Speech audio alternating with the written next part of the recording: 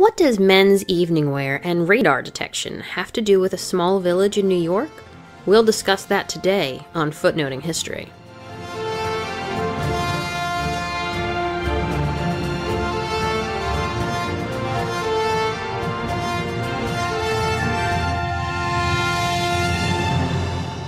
Hello, and welcome to the March 8th episode of Footnoting History. This is Elizabeth, and today we'll be discussing Tuxedo Park, a quaint little hamlet in New York covering approximately three square miles and housing roughly 700 people. Now, just a few hundred years ago, this area was all forest and home to the Lenape or Delaware Indians, from whom the area got its name Tuxedo, although what the term meant is still up for debate.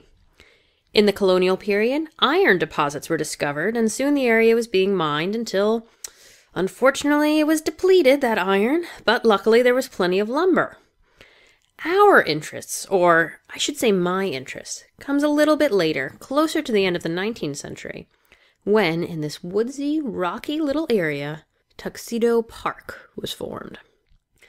I like to say that all children raised in Tuxedo Park know the story of its founding before they know their ABCs.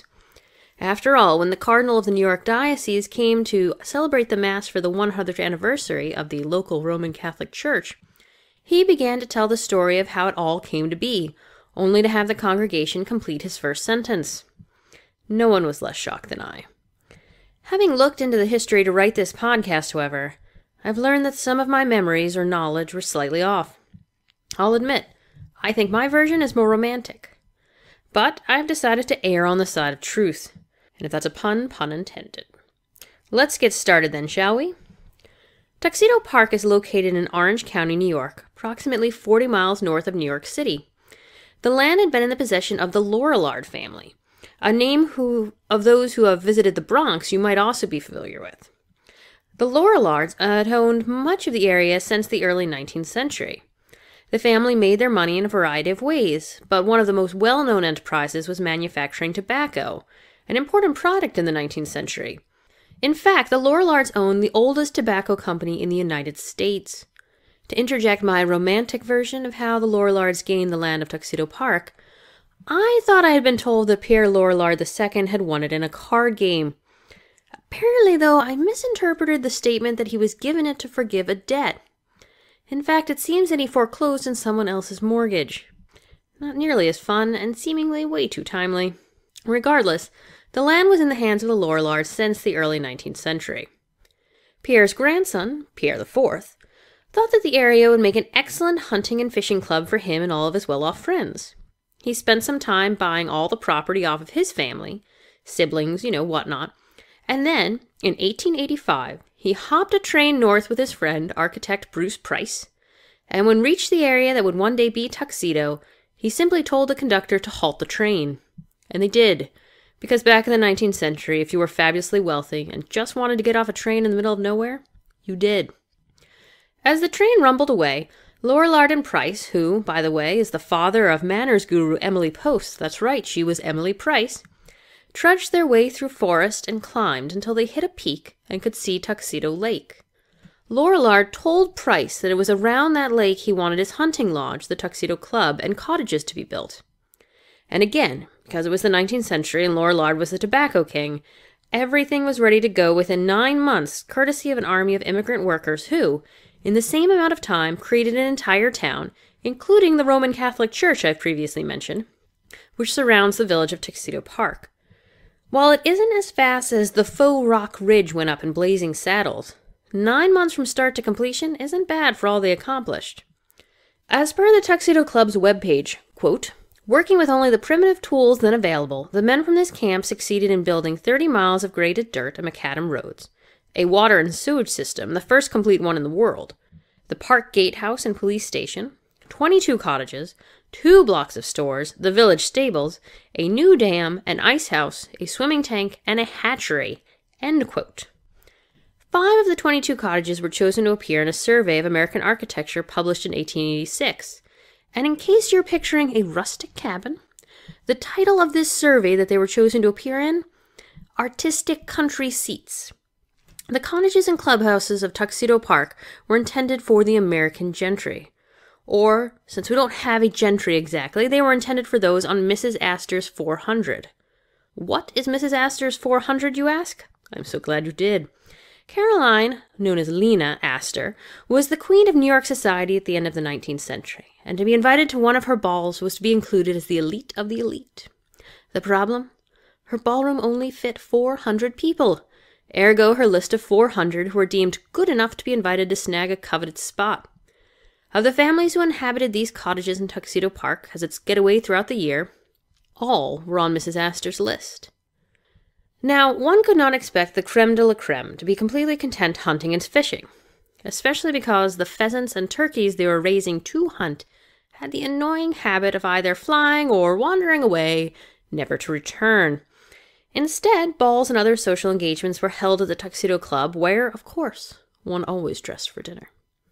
Now, I've promised you two stories about Tuxedo Park, although believe me, there are more. But these two stories, about how men's evening wear known as the tuxedo is related to the park, and where radar detection comes into all of this, should help you with a few did you know anecdotes at your next cocktail party. First, then, the tuxedo. And I'll admit that this story reminds me of every Wooster and Jeeves argument over Bertie's mess jackets. You know, the ones with great big brass buttons. And it's not hard to think of the young men for whom this fashion was followed lobbing rolls or other items at the Drones Club. I would love to tell you that Tuxedo Park is where P.G. Wodehouse got some of his material, but alas, I can find no connection. In 1886, James and Cora Potter, two of the original members of the Tuxedo Club, traveled to England for the summer and were invited to dine with the Prince of Wales. Not wishing his guest to make a fashion faux pas, the prince directed James to his tailor, who was instructed to make James a short jacket, sans tails, for him to eat dinner in, similar to how the prince enjoyed to be dressed. Well, when James returned to Tuxedo Park and told them of his fashion forward exploits, pretty soon all of the men of Tuxedo Park wore short jackets to the less formal dinners at the club and around the park and then one night, even to a dinner at Delmonico's, an upscale restaurant in New York City. Scandalized patrons turned to one another, aghast at the missing tails on the men's coats, only to be told, Oh, don't you know, that's how they do it up in Tuxedo. That's how they do it indeed, and with that, a young man's choice of prom attire had a new name. As far as we can tell, this is the true account of how the tuxedo got its name, but there was a long embraced story in which Pierre Lorillard's son, Griswold, inspired the nickname for the outfit by wearing the short jacket to the first autumn ball held at the Tuxedo Club. But it seems that the version concerning Potter, the Prince of Wales, and Delmonico's is where we should hang our hats.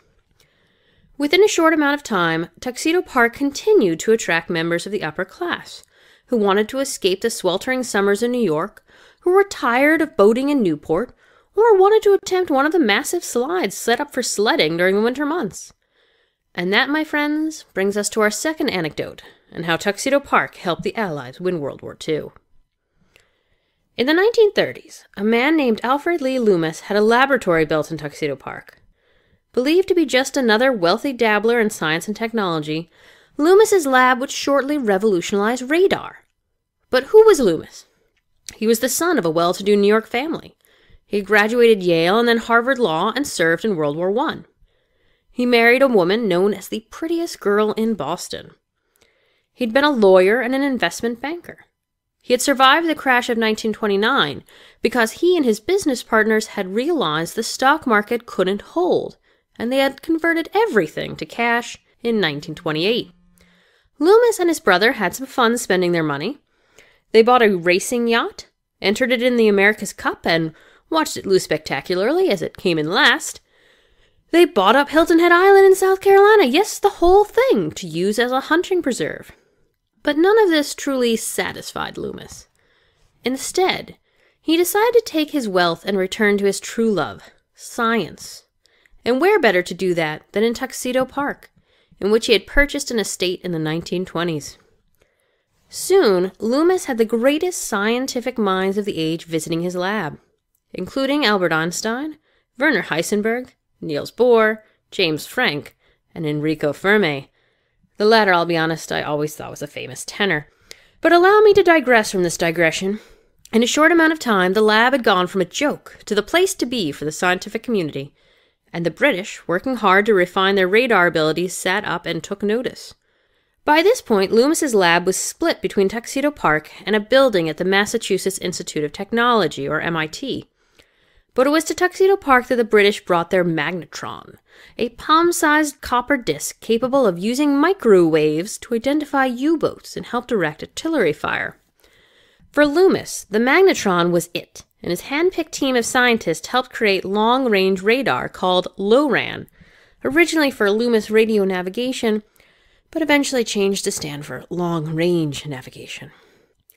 The Allies were able to use this technology, among other things, to provide cover for themselves while landing at Normandy during D Day. The technology created in Loomis's lab is responsible for a good portion of how the Allies won the war.